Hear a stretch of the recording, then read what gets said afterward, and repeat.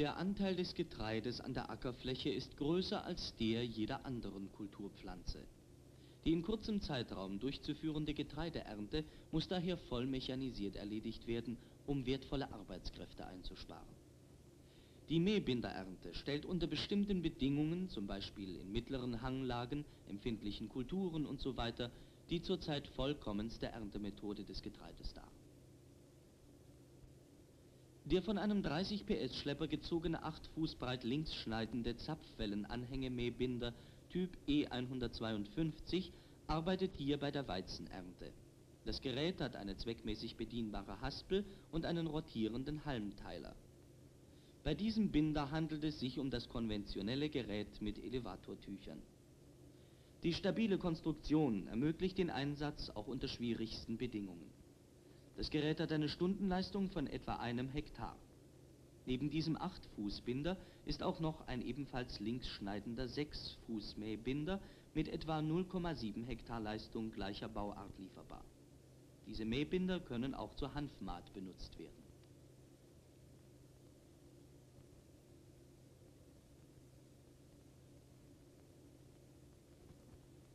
Die zum Trocknen aufgestellten Getreidegarben werden jetzt abgefahren. Dazu eignen sich die von unseren Betrieben gefertigten luftbereiften Schlepper und Hänger.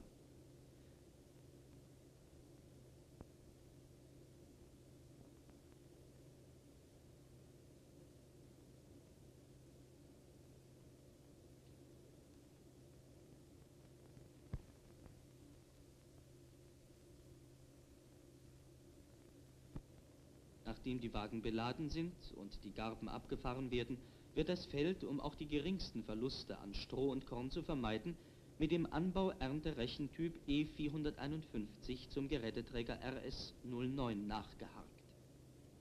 Zum verlustlosen Einbringen der Ernte empfiehlt sich dies auf jedem Getreidefeld.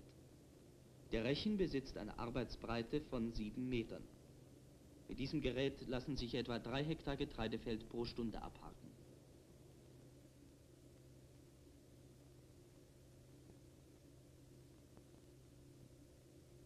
Der Rechen wird vom Schlepperfahrer hydraulisch gehoben und gesenkt.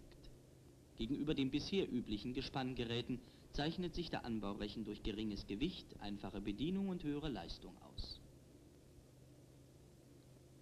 Auch auf dem Druschplatz herrscht rationelle Arbeitswirtschaft. Mit unserem Allesdrescher Typ K117 Weltmeister halten wir jedem internationalen Vergleich stand.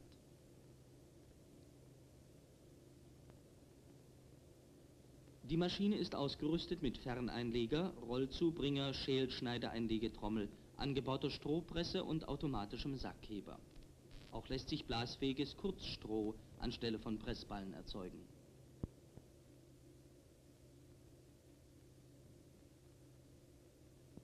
Die in Stahlleichtbauweise ausgeführte Maschine zeichnet sich durch absolut wirksame Sicherheitseinrichtungen und geringe Rüstzeiten beim Auf- und Abbau aus. Durch sinnreiche Einrichtungen lassen sich mit der K117 Weltmeister vom Mais bis zum Klee alle Samenarten ausdreschen. Die Körnerleistung der Maschine beträgt pro Stunde 2000 Kilogramm. Der Kraftbedarf liegt bei 17 Kilowatt.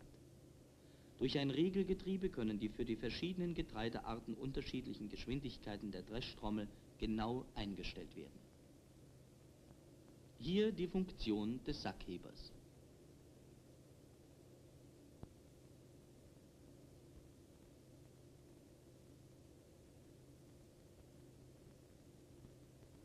Der Mähdrusch ist das wirtschaftlichste Getreideernteverfahren unserer Zeit. Die Erfolge der sozialistischen Landwirtschaft bestätigen die Vorteile der rationellen Arbeitsweise dieser Großflächenbearbeitung, von der wir Ihnen hier ein Beispiel geben. Alle dafür erforderlichen Maschinen und Geräte können Sie von der volkseigenen Landmaschinen- und Traktorenindustrie beziehen. Hier arbeitet unser selbstfahrender Mähdrescher Typ E175-2 Patriot die Bergung des trockenen Strohs erfolgt mit dem Feldhäcksler Typ E065-2 und zur gleichen Zeit wird auf dem abgeernteten Feld mit dem Schälwühlpflug Typ DF16U die Getreidestoppel gestürzt.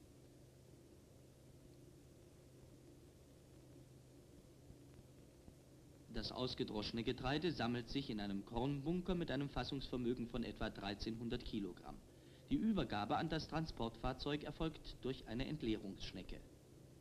Die rationellste Abfahrt des Getreides sehen Sie an diesem Beispiel.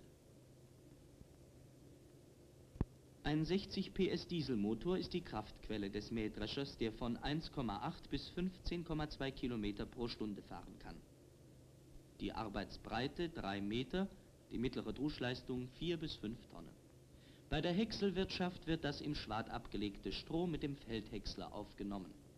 Die Aufnahmetrommel wird hydraulisch gehoben und gesenkt. Der Feldhäcksler wird von einer Person bedient. Zur besseren Ausnutzung des Ladegutes sind die Hänger mit einem Ladegitter ausgerüstet.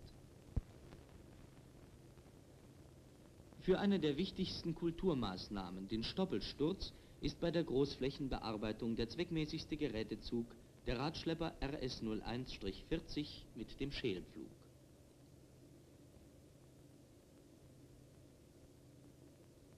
Die Spreu wird bei diesen Mähdreschern auf der Maschine abgesackt und auf dem Feld abgelegt.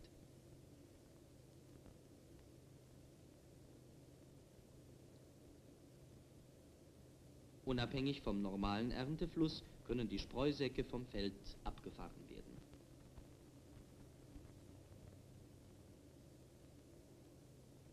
Die Zweiphasenernte ist das jüngste Halmfruchternteverfahren. Mit einem Spezialgerät, dem Schwad